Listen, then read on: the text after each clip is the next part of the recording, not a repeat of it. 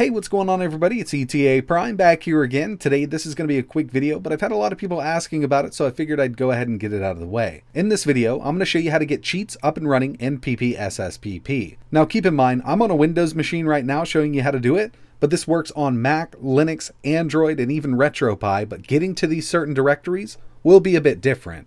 Overall, the process is exactly the same. So the very first thing we're going to need to do is get a cheats database file, and there's tons of them online. My personal favorite is over here on GitHub, and one of the big reasons this is my personal favorite is because it's still being updated, as making this video was updated nine days ago. Now I will admit with this cheats database file here for PPSSPP, there's a lot of stuff that I will never use, but there's still a lot of quality cheats here. There's several of these floating around online. You can do a quick Google search and find a ton of these, but this is the one I personally use. So we're going to have to download it. We're going to download the master from right here. It's now going to go to my downloads folder. I'm going to go ahead and show in folder and I'm going to extract it. Now, if you're on an Android device, you can download WinRAR or something like that and extract it just like we did there.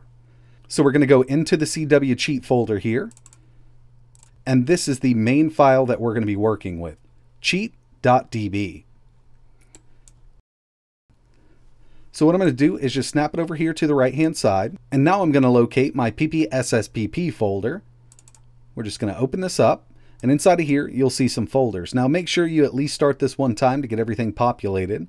But we want to find memstick, PSP, and you'll have a folder called cheats. If cheats is not located here, you can create the folder yourself, but it should be here as long as you've started PPSSPP at least one time.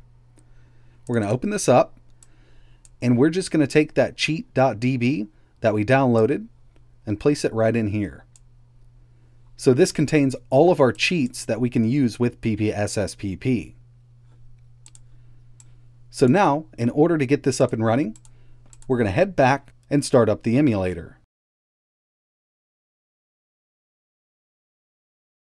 From within the emulator, we're going to head over to Settings, System, and we're going to find Enable Cheats. It's located right here. Make sure this is checked.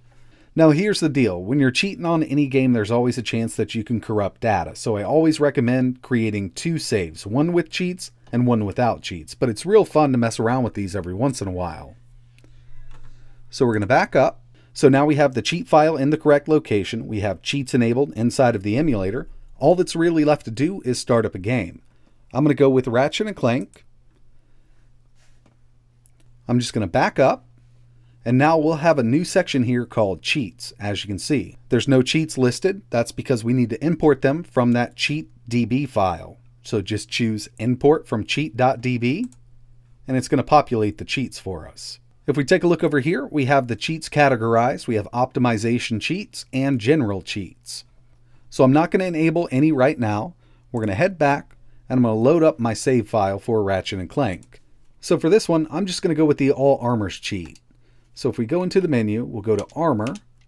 And as you can see here, I don't have any of the armors unlocked. So I'm going to back out into the menu. We're going to go back to cheats. And from over here, I'm going to find unlock all armors. There's actually a couple in here. It says all armors, all armor sets. This one doesn't unlock them all, unfortunately. We have to find the other one. Have all armors. So we've got that checked. Just skipped out on me. We'll back up. We'll continue the game.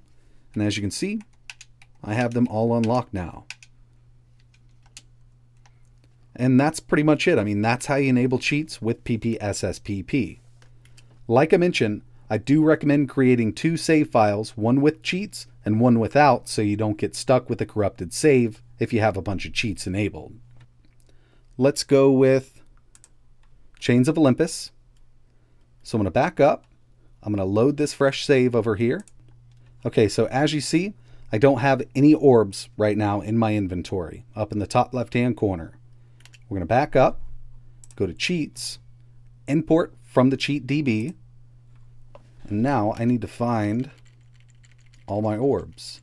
So optimization cheats, general cheats. Instead of going with this one, we're actually going to go with unlimited orbs. Infinite red orbs. I don't know why it keeps skipping out on me. Back up. Continue the game. And there we have it. I got as many orbs as I ever want with this game now. It's actually really easy to set up, and it really doesn't matter if you're on Windows, Android, Mac, RetroPie, or anything like that. You just need to get that cheat DB file in the correct location. So that's pretty much it for this video. Really appreciate you watching. This has definitely been around a long time for PPSSPP, but I've had a lot of people asking about it, so I figured I'd go ahead and make a video. I will leave a link in the description to that cheat database file that I personally use, but if you have any suggestions or any questions, let me know in the comments below. And like always, thanks for watching.